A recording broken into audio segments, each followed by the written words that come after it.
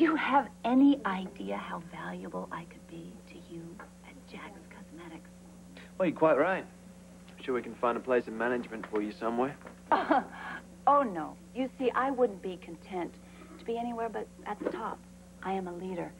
Listen, Jax, if I were you, and I know you're a very wise man, you should snap me up and hire me to run Jack's Cosmetics for you. What? So is that smile a yes? That smile is a smile.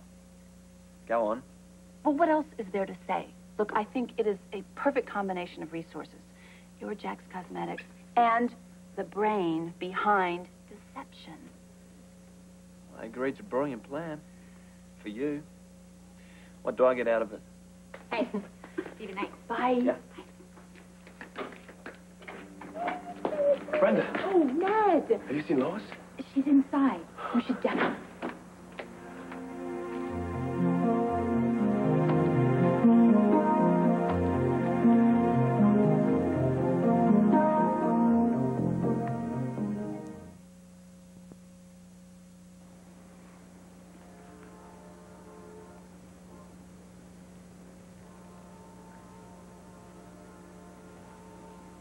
Why didn't you tell me? Wow, sweet.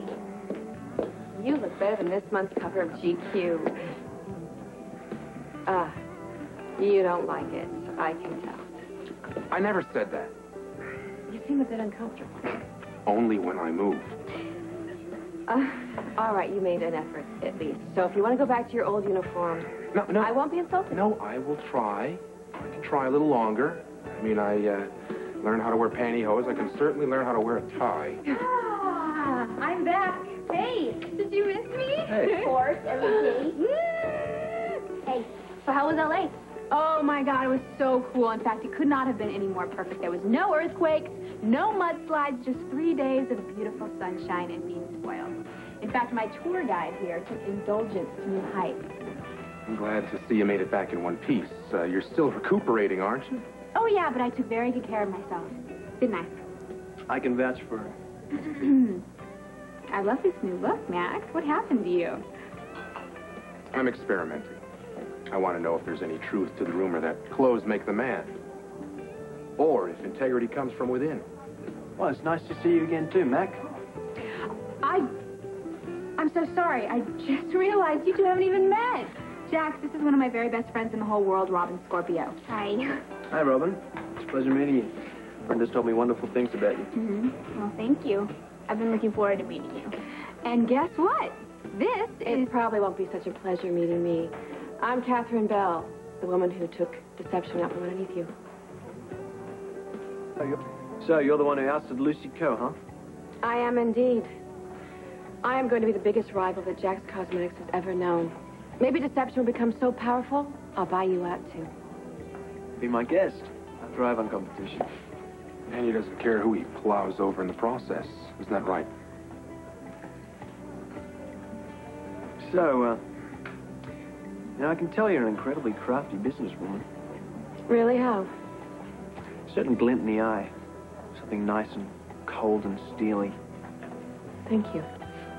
I'll remember to keep my guard up when you're around. I'll do the same.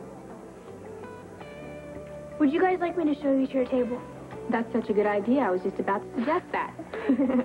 Bye. Right over here. What was that all about? I don't know what you mean. That little remark about Jack's plowing people down? What do you know about him? It's right there for public consumption. Jack's reputation is legendary. Spans the globe. So that comment was hearsay. It's more than that.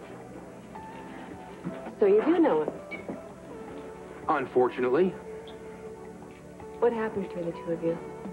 it's a long story. I'd love to hear it. Later. I got time now. Katherine, I'm not going to get into it with him sitting right over there. He's busy. He won't hear you. Not now. Oh. But in the meantime, let me give you a little warning, all right? Don't be taken in by his uh, phony smile and affected charm. The man has no scruples. Ahem. she's not as interesting as you might think. Huh? No, she's very obvious. She's just blind ambition. That woman will go after anything she wants and she'll do anything she can to get it. So if I were you, I wouldn't be fooled by her sweet little smile. She's probably just as competitive as you are. Well, if things work out the way I hope, Katherine will find herself pitted against Lucy Coe, not me. Do you really think that Lucy Coe would trade her ELQ stock for Jack's Cosmetics? I have a hunch. Mm, Well, I wouldn't let Ned know about that hunch if I were you. Of course not. Better put an end to the deal before it even got underway. So you're just willing to sit here and talk to me about this knowing that I'm really good friends with him? Well, you're my friend too. I trust you. That's so hard to believe. No. I guess I'm just not used to it. You know, I find it curious. You're in a relationship with a man who didn't trust you and refused to confide in you, yet you're incredibly eager to win him back. Well, Sonny and I are just meant to be together. I mean, I don't know how to explain it, you know? Sometimes love just doesn't make sense.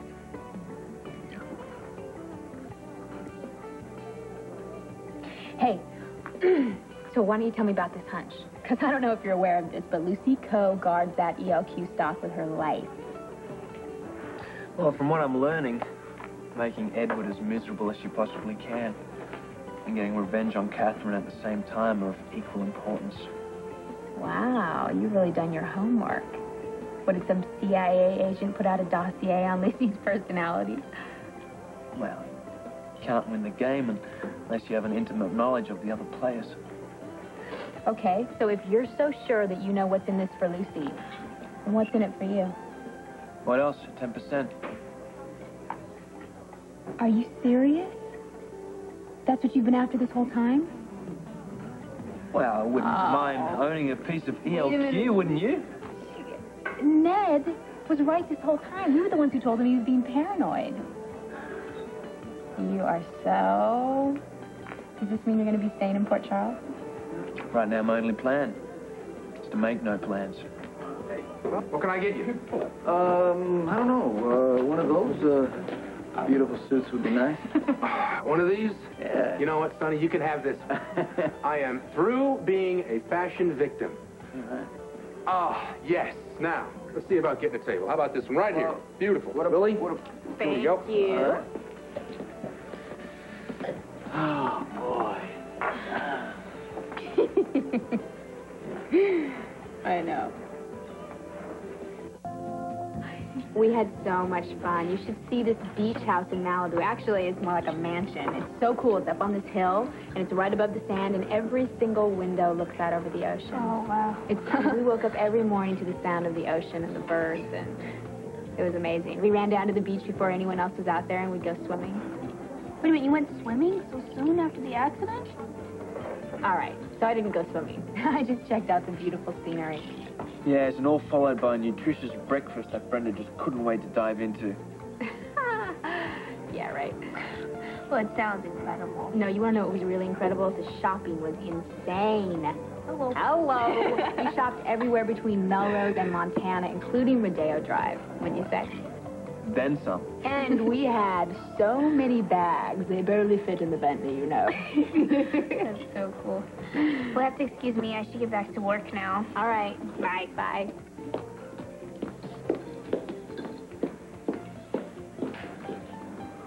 It's getting hot here. You think so? Don't you? Not really. You need another drink? This one's fine. Sure. Mm-hmm. I'm so glad Brenda finally met someone that's going to treat her well. As the face of deception, I hope she doesn't give away any company secrets. Hmm. I have a feeling that their relationship is more than business. Especially after going to LA together. Well, she better not be planning too many cross-country trips. I am her boss now. Or Jax has his own plane. I mean, they could go to Paris just to have dinner and come back in the same night. I'm sure that makes her very happy. I call it reckless. Brenda obviously has a penchant for the wrong guys. Hmm. I've been thinking about Canada. Why don't we stop stalling